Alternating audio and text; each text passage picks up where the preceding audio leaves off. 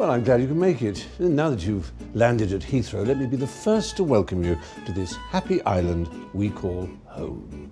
Very soon you'll be free to enjoy the many things that make the UK such a great place to visit. The majesty of our countryside, the majesty of of Her Majesty, the Scottish Highlands, the Giant's Causeway. The fucking M25! Nevertheless, if the queue should start to move particularly slowly, it may become necessary to turn to your companion and display your displeasure in the strongest possible terms. Prick! Cockface! You molested a penguin! Rapist of a duck! Fucking poohead!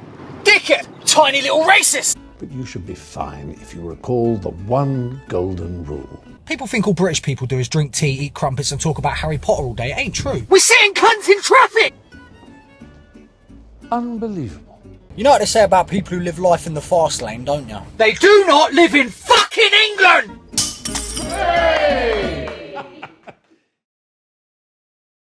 The fucking M25!